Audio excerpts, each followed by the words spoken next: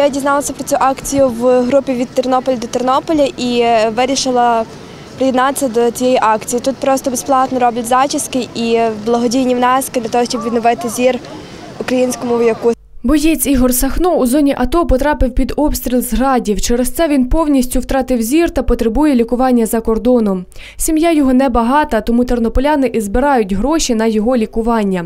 Пожертви збирають, вплітаючи у волосся жовто-блакитні стрічки.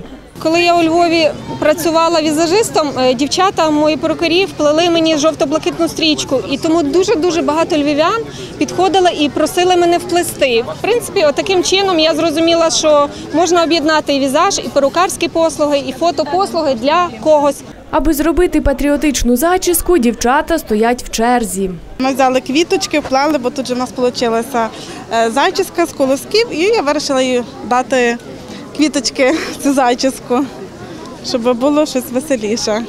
А я почула по радіо, що буде така акція, і я ну вирішила, що мені точно треба взяти участь, свою, хоч маленьку лепту вкласти, щоб допомогти цьому цій людині, яка захищ- захищала особисто мене і цілу Україну.